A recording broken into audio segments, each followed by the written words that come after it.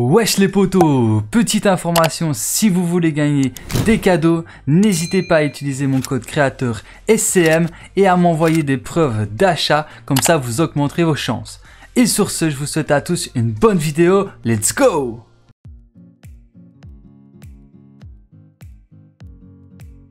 Wesh les potos, bienvenue sur ma chaîne YouTube, c'est Swakulo Mike et dans cette vidéo, je vais vous faire un guide complet des défis de la semaine 9 de Fortnite saison 6.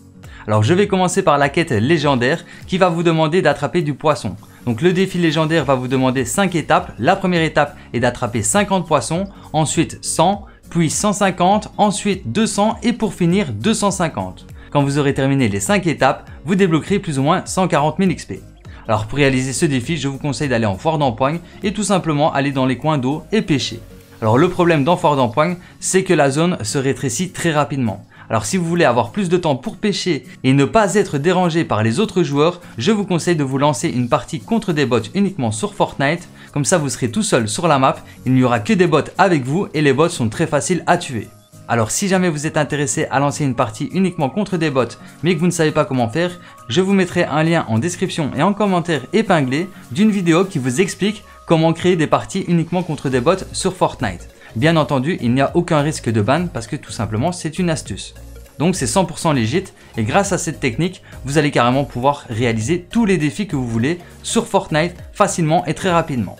Donc voilà, maintenant je vais vous présenter les quêtes épiques. Alors le premier défi est d'obtenir un renseignement sur la faune sauvage auprès de Broussaille, Tarana, Rex, Piu Piu ou Sergent Steak. Alors pour vous aider à réaliser ce défi, je vous affiche une map avec tous les emplacements des personnages.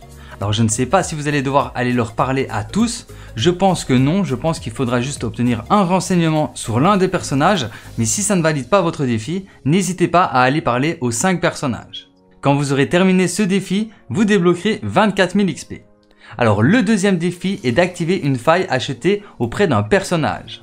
Alors pour vous aider à réaliser ce défi, je vous affiche une map avec tous les emplacements des personnages où vous allez pouvoir acheter une faille. Donc vous aurez juste à acheter la faille auprès du personnage et ensuite de l'activer pour valider le défi et débloquer 24 000 XP. Alors le troisième défi est de chasser un sanglier. Alors pour vous aider à réaliser ce défi, je vous affiche une map avec tous les emplacements des sangliers. Donc là, vous aurez juste à tuer un sanglier pour valider le défi et débloquer 24 000 XP. Alors le quatrième défi est de rester 7 secondes à moins de 7 mètres d'une poule en train de s'enfouir. Alors pour vous aider à réaliser ce défi, je vous affiche une map avec tous les emplacements des poules de Fortnite. Donc là, vous avez juste à vous rendre à l'un de ces emplacements, ensuite de courser la poule pendant 7 secondes pendant qu'elle est en train de s'échapper. Mais il faut avoir une distance de moins de 7 mètres entre vous et la poule pour que le défi se valide et que vous débloquiez 24 000 XP. Alors le cinquième défi est de regagner des PV dans la tempête. Alors pour réaliser ce défi, il vous faudra soit des bandages, soit un kit de soins, soit de la nourriture genre salade, pommes, bananes, etc. Même des poissons, ça suffira. Et là, vous allez dans la tempête et ensuite vous consommez la nourriture dans la tempête pour regagner des PV. Comme ça, vous aurez terminé le défi et vous débloquerez tout simplement 24 000 XP. Ensuite, le sixième défi est d'utiliser une grenade à onde de choc sur soi-même en étant dans la tempête. Alors pour réaliser ce défi, vous allez devoir trouver une grenade à onde de choc. Donc moi ce que je vous conseille pour réaliser ce défi, c'est d'aller en foire d'empoigne parce que je pense que vous aurez plus de chances de trouver des grenades à onde de choc en foire d'empoigne et au moins si vous en trouvez une et que quelqu'un vous tue, et eh bien au moins vous ne la perdrez pas.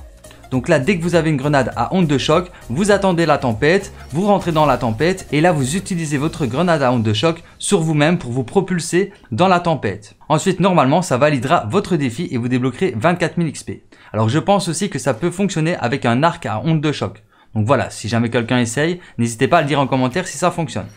Alors le septième défi est de survivre aux phases de la tempête. Donc là, ben, rien de plus simple, vous lancez une game, vous survivez aux phases de la tempête. Je pense qu'il y en a 3 ou 4 par partie, que ce soit en solo, duo ou section, ou même en fort d'empoigne. Donc vous survivez à 5 phases de la tempête et vous débloquerez les 24 000 XP. Et pour finir, le huitième et dernier défi est de construire dans la tempête. Donc là, rien de plus simple, vous farmez 100 matériaux et ensuite vous allez dans la tempête et vous construisez 10 rampes ou 10 murs. Comme ça, vous validerez le défi et vous débloquerez 24 000 XP. Donc voilà qui termine le guide complet des défis de la semaine 9 de Fortnite saison 6. J'espère que cette vidéo vous aura été utile. Si c'est le cas, n'hésitez pas à liker, à partager et à vous abonner si ce pas encore déjà fait. Et sur ce, moi je vous dis à très bientôt pour plus de vidéos. C'était soit cool et ciao. Peace. Yummy, yummy, Dominic, bruh. Yummy, bruh. Yummy, bruh.